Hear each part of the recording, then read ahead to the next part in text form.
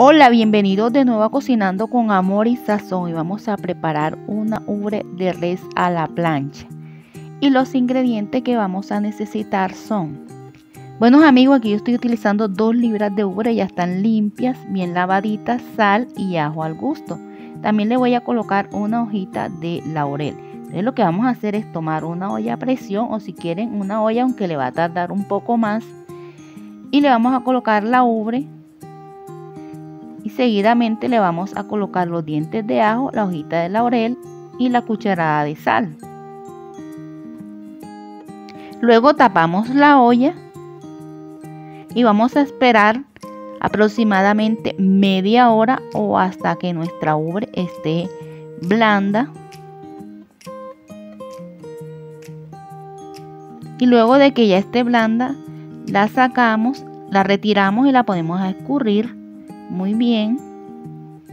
Esta obra se me había olvidado decirle que em, ella no se debe dejar tan blandita. Entonces lo que vamos a hacer, yo aquí lo que estoy haciendo es tratando de abrirla un poco para hacerla más delgada. Mira, así debe quedar un poco, no tan delgada, sino abrirla bien.